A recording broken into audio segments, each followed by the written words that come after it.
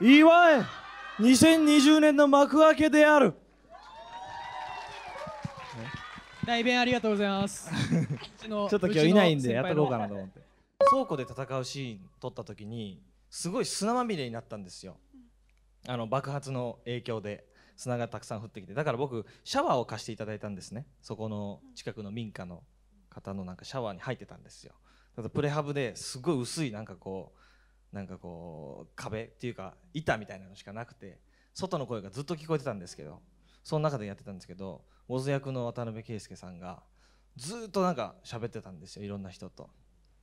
でそういう感じでいろんな人とコミュニケーションする姿勢って大事なんだなと思いながらこうやって頭洗ったり体こうやって洗ったりしてました圭介が喋ってるのが風呂入ってそうずーっと聞こえてんのよ。その空いてるからさ上の方とかも。あなるほどなるほど。う板っていうかあのな何？あの薄いこうこうくねくねくねくねってしたさ。何でもいい何でもいい。薄いね。みたいな。ねああいうやつしかなかったから。仕切られてたからそうそうそうそう。外の声が聞こえてたってことですよね。ポニーテールも結構褒めていた予だける。想通りね。予想通り。すべて予想通りだ。もう今今日井桁さん緊張してるからやめてあげてください。ちょっと緊僕張してますから。と僕と一緒に緊張してますから。これ以上。でもポニーテールやっぱりこうあいいって言っていただけること多いんだと思ってちょっとドラマでもポニーテールしたいなーなんて思ってます。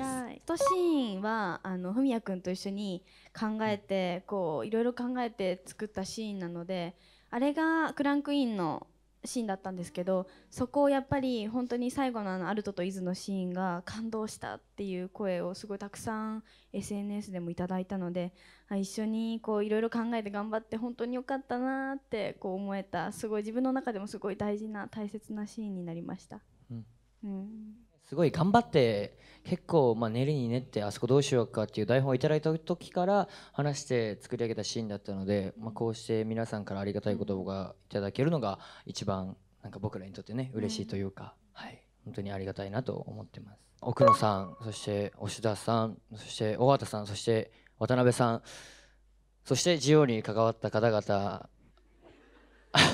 僕には渡辺さんが見えるんですけども。怖い怖い怖い怖い。本当にジオに関わった方々から全ての思いを受け取ってこれからその思い全てを「ゼロワンにぶつけてもっともっと面白くなっていきますんでこれからもそして今年も「ゼロワンをよろしくお願いします。今日はありがとうございました